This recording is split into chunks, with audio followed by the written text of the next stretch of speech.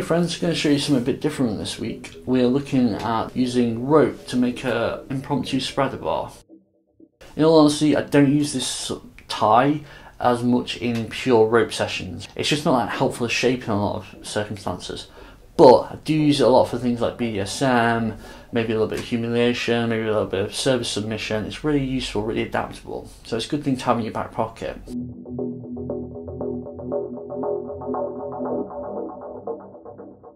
So this version of the spreader starts with a single column tie on one wrist. Some of this stuff can be quite difficult to film, so we deliberately tie things super loose to make it easier. See, I can get multiple fingers in this gap. That's not what you want when you tie it. You want it so it's a two finger gap, not a five or six finger gap. And then we're going to tie a Hojo cuff. If you're unsure how to do this, we made a full video on it.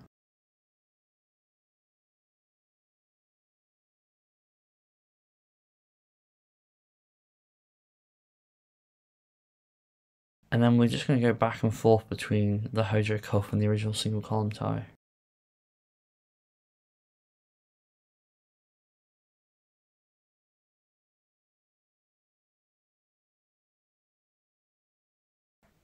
Now I'm going to start wrapping these horizontal lines together.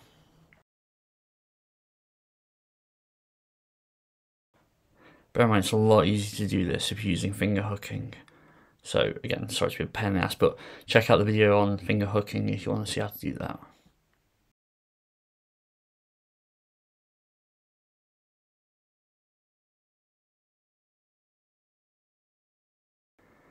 So obviously the longer you make this, the more wrapping you will do at this point. So if you don't need the wrist this far apart, you don't have to tie them this far apart.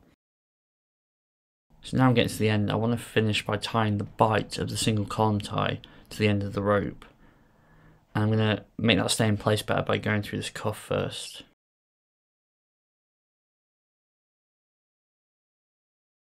I think you're going to wiggle around quite a bit, put another knot on for safety. Star's are having a little shift around here to show the various ways you can position the arms once this cuff's on.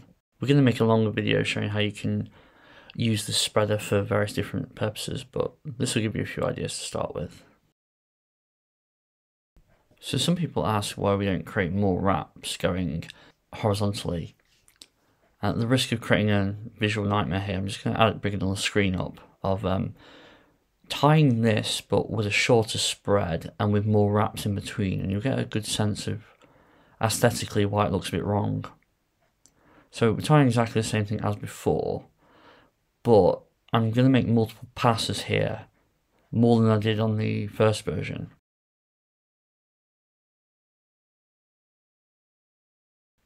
you can see that once I make multiple passes, the connector in the middle starts to become thick and the cuffs on the other side. So it starts to look, I don't know, it kind of quite ugly because it makes it look quite bulky. But you may feel differently. So it's nothing wrong with it. You can do it if you want to. And also makes a more rigid bar in the middle. But it is, um, doesn't look pretty to me. See what you think.